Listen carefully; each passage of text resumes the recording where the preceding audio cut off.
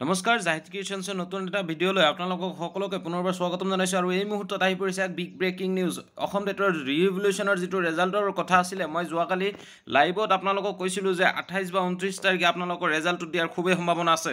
আৰু এই মুহূৰ্তত অসম টেটৰ যিসকল ৰিভলিউশ্যনৰ ৰেজাল্টৰ কাৰণে ৰৈ আছিলে তেওঁলোকৰ ৰেজাল্টটো ইতিমধ্যে ঘোষণা কৰা হৈছে। এল পি আৰু ইউ পি দুয়োটাৰে ৰেজাল্ট ইতিমধ্যে ঘোষণা কৰা হৈছে। আপোনালোকে যদি ইয়াতে চাই স্পষ্টকৈ ইয়াতে লিখি দিয়া আছে আপোনালোকে সেৱাৰ যিটো মেইন ৱেবছাইট তাতে আপোনালোকে পাই যাব ৰেজাল্ট ইয়াতে চাব পাৰিছে আপোনালোকে TET L P U P two thousand twenty one revise result ইয়াতে আপোনালোকে চাইছে স্পষ্টকৈ লিখা আছে কথাখিনি।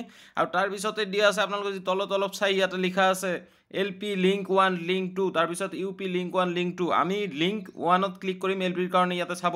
লিংকটো এতিয়া এক্টিভ হৈ গৈছে। ইয়াতে আপোনালোকে চাব পাৰিছে lower primary L P score card show' এনেকৈ আপোনালোকে যিমান সোনকালে পাৰে ৰেজাল্টখন চাই লওক। আশা কৰোঁ সকলোৰে ৰেজাল্ট ভালে হ'ব। আজিৰ কাৰণে এইখিনিয়ে বাই বাই টেক কেয়াৰ লগ পাম পৰৱৰ্তী ভিডিঅ'ত। জয় অসম। আৰু আপোনালোকৰ ৰেজাল্টটো কেনেকুৱা হ'ল মোক কমেণ্ট বক্সত জনাবলৈ নাপাহৰিব। বাই।